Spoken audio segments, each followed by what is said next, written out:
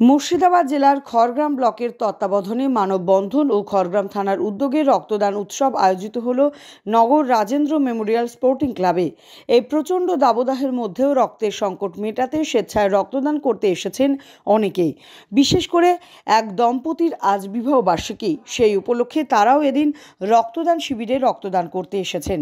এদিন প্রায় পঞ্চাশ জন রক্তদাতা স্বেচ্ছায় রক্তদান করেন। বারাবরই রক্তদান করে থাকি। এখন প্রচণ্ড গরমে ব্লাড ব্যাংকে রক্তদানের খুব অভাব হচ্ছে সেই জন্য আমরা মানববন্ধনের উদ্যোগে আমরা রক্তদান করছি।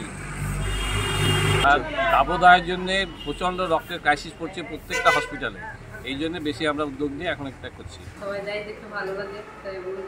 তাছাড়া আজকে আমাদের প্রথম বিবাহ বার্ষিকী সেই উপলক্ষে আরও দিচ্ছি আমাদের মানববন্ধ যে যে ব্যাডমিন্টন ক্যাম্প আয়োজন করা হয়েছে সেটাতে দিচ্ছি